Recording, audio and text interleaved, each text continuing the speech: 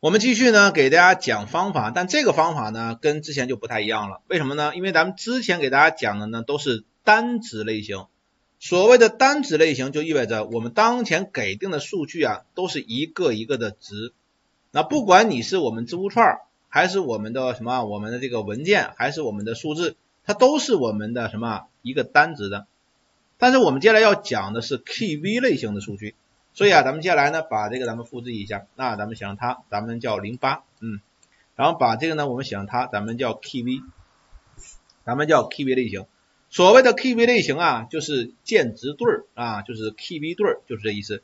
这个咱们之前给大家提到过，提到过什么呢？就是说我们有一个什么东西呢？咱们叫它，咱们叫 KV 类型啊，KV 类型，我们一般啊，一般表示为什么呢？就是元组啊，咱们叫元组。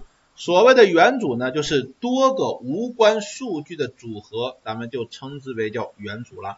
但是呢，KV 类型一般我们称之为叫二元组。所谓的二元组就是两个元素的组合，就叫二元组。在 Scala 语言当中，小括号就表示元组了，但是在 Java 当中就不是了。Java 当中我们称之为叫 Tuple，Tuple，Tuple 就叫元组，但是你是二元组，所以写个二。就是两个元素的组合的意思，就是它。那你现在就要把它构建出来，所以给它来个 new，然后呢，我们叫 tuple，tuple 呢，记住啊，我们是有泛型的，那所以呢，我们就想它，咱们就叫 a 逗号一啊，这就是我们当前的一个二元组了，v2 回车，哎，也就意味着我构建了一个。那所以你构建了一个以后，它就是我们的二元组。那我再来一个，我再写上一个它，我写上一个 b，我再写上个二，我再来一个，我写上它。我们叫做 C 写成个三，你看就是这个意思。那好了，那我这么写完了以后，那我当前的这个地方它，咱们的这个地方我们就要变一变了，所以把它去掉，去掉以后干什么呢？我这么写，咱们叫做我们的 GSC 点儿啊，咱们叫 parallelize，然后呢在这 erase，然后呢把咱们当前 咱们叫 A 逗号 A 一，咱们叫 A 二。然后呢，我们点一下啊，V2 回车，回车以后你会发现当前就是 tuple 二的。然后呢，把这个东西你拿过来，拿过来以后我点一下叫 V2 回车，回车以后那这个呢我就得到了一个 RDD，就是它。好了，那我这么写完了以后，我想干什么呢？很简单，我想把当前二元组当中的数据的每一个一二三乘二，我该怎么做，同学们？大家想想，我现在想把我们的二元组当中的第二个元素乘以二返回。说的简单点，你原来是 A 一，那现在我就想变成 A 二。那如果是 B 二，我就想变成 B 四。我是 C 三，我就想变成 C 六。我怎么做？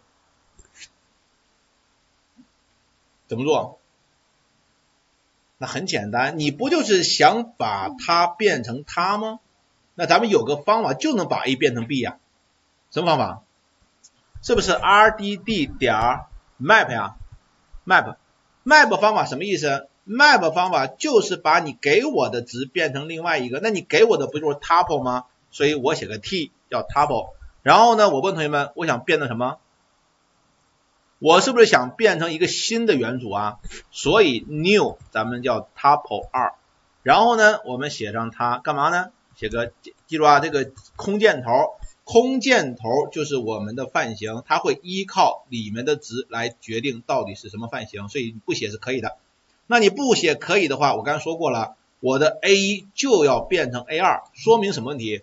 说明 A 变吗？A 不变，那所以 T，哎，我怎么从元组中取出它的第一个元素来着？应该用顺序号吧，所以 T 点下划线一就行了。这就是我呃那个 key 了，但是我说过了，咱们的第二个值要乘二啊，所以 t 点下划线二再乘二就行，所以你的这个代码这么写就行了。写完了以后点一下叫 v 二，别别 v 二了，直接来吧。咱们在这边直接来点一下叫 collect，然后 for each，然后我们去打印。所以啊，咱们现在就想实现我要的功能，所以呢，我们运行一下，运行。运行以后，大家看啊，我们当前的这个操作的结果跟我预想的是不是一样的？好了，咱们来观察一下，哎，你看 A 二、B 四和 C 六就是我现在想要的结果，所以它满足了我的要求。但是我就告诉大家，咱们这么理解是不对的。什么意思啊？就是你这么说，哎，老师不实现了吗？你这不就满足了我的要求吗？我告诉大家，不是这么回事儿。我们告诉大家，为什么咱们的 KV 类就是我们那个 RDD 的处理数据要分成单值和 KV 呢？这里咱们解释一下啊，咱们解释一下，我们的这个 Spark RDD 啊，来。它对什么呢？整体数据的这个处理啊，咱们就称之为咱们叫做单值类型的数据，单值类型的数据处理啊，就是对整体数据，我对这个整体。但是呢，我们再说一下，它如果对什么呢？我们的数据个体的处理啊，个体的数据数就 KV，咱们叫 KV 数据个体处理，就称之为叫 KV 类型的处理。说的简单点，什么叫 KV 数据的个体呢？就是说，它的 key 和 v 不是一回事儿，它不作为整体使用，咱们的整体使用啊，也就是说，什么叫 kv 类型？就是说，你的 key 啊和这个 v 啊不是个整体，k 是 k，v 是 v，但是大家看咱们当前这个代码怎么了？你是不是把 k 和 v 当成整体来用了？为什么？你看这儿，这啥意思？这是不是 T 啊？这个 T 是不是就是 tuple？这个 tuple 就是整体，所以我们当前写的这个代码根本就不是 KV 类型的处理，它还是单值类型。为啥呢？因为它是把它当成了一个整体，所以这是 A，这是 A 一，这是 A 二，所以这个记住了，同学们，它根本就不叫做 KV 类型。那所以 KV 类型是不是这么做的？那所以咱们来，咱们写上它啊，来写上它。咱们叫上面的代码啊，它不是对我们的 KV 类型的数据它进行处理啊，还是咱们叫做什么呢？我们的单值类型处理，单值类型处理。你别误会，老师我用的不是 tuple，tuple 不就是 KV 对吗？二元组就 KV 对吗？不是的，也就是说它是什么呢？是将我们的二元组啊当成一个整体来使用了啊来使用。所以这种方式就不能叫做 KV 类型，那怎么才能叫 KV 类型呢？来给大家看一看，把这个给它注掉啊，注掉，注掉以后就意味着数据还是这个数据，但是我不能把它当成整体了，所以咱们就来叫 JSC，还是用 parallelize，但是用另外一个方法叫 parallelize 这个方法，用这个方法，这个方法跟上面这个方法。差了这么几个字母，叫 P A I R S，叫 pairs。那好，我们打开，打开以后吧，咱们在这里点开，点开，我们找一下咱们的百度翻译，咱们回车，回车以后，大家看啥意思？叫一对儿，对吧？它叫一对儿，也就是说，我们当前的这个翻译就告诉你了，我是对一对儿的数据做处理，你看这就不一样。这个是对整体做处理，这是对一对数据做处理。所以说你把这个你放过来，你放到这儿，放到这儿以后，然后呢你点一下 var 回车，回车以后，大家看一下我们当前的这个地方啊，咱们把这个东西拿过来，呃，我写上它，咱们就叫做 string 啊，然后呢就把这个来写上它，咱们叫 integer，嗯，给它放过来。但是放过来以后，我看看啊，咱们这个地方。嗯，我看看咱们这儿怎么好像它这个地方有点问题呢？嗯，它好像这个地方看看，它的这个 T 一和 T 二没有识别出来呀。嗯，行吧，先不管它吧，咱们就先跟大家去讲一下这个事情啊，把推掉，推掉。先给大家讲一下是这个事情，大家分析一下，或者说咱们区分一下，区分以后大家看一下咱们的事儿。这个叫什么呢？叫 Java RDD，这个叫什么呢？叫 Java 的 Pair RDD，啥意思？同学们，说明你现在是对成对的数据做处理，而你上面这个是对整体做处理，它就不一样。最起码类它就不一样啊，类就不一样，方法名它也不一样。哎，老师，那我就不明白了，那你这个怎么体会说 Key 和 V 它不是个整体呢？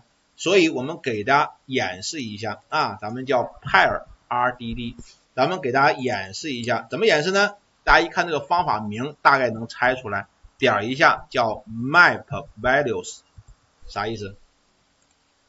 猜测一下，大家猜测一下这个方法名是什么意思？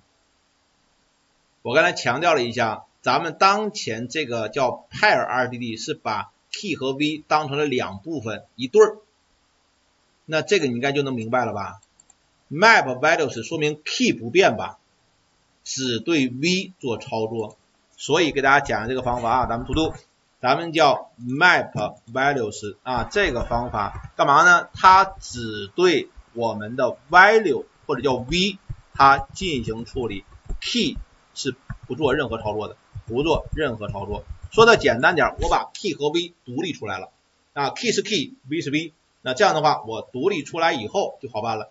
那我独立出来以后，那不用说呀，你的 v 就是个一二三，是个数字啊，所以我的 number 它写个箭头叫 number 乘二就行了。你这么写完以后就可以了啊。好了，那这么写完了以后干嘛呢？我在这儿直接给它点一下，然后呢，我们的这个叫 collect，嗯，然后呢，我们点一下。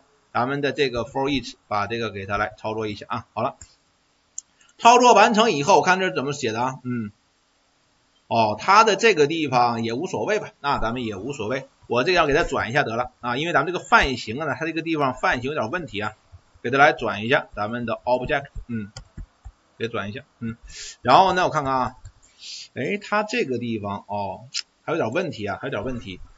问题在于它这个地方是这样的，咱们给它来稍微转一下，咱们叫做 int 吧，int i，它等于我们的呃 integer 啊，给它来个 number，嗯，然后呢，我们写上 return，咱们叫 i 乘二啊，i 乘二，把它放过去啊，好了，咱把这个代码写上一下，这个是什么意思呢？是因为我前面没加范型，你没加范型的话，它这个没有约束，它会认为是 object，的但是咱们知道是个 number 啊。所以呢，就导致我把它转转一下，转完了以后，我再让它乘二就行了。那我我的目的是为了给大家演示这个效果啊，所以我们现在呢，直接运行一下，运行，运行以后，咱们来直接看啊，来观察一下，观察以后，大家看一看我们当前的结果，大家看对不对？A 二、B 四和 C 六吧，C 就是那个 A、B、C 那个 key，我没有做任何操作，我只是对咱们的 V。做了操作，所以 key 和 v 是分开来使用的，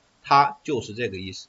那所以你们要体会一下 kv 类型的数据到底体现了什么概念。哎，老师，那不行啊！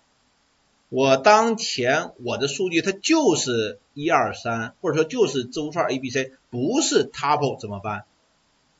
所以咱们停一下。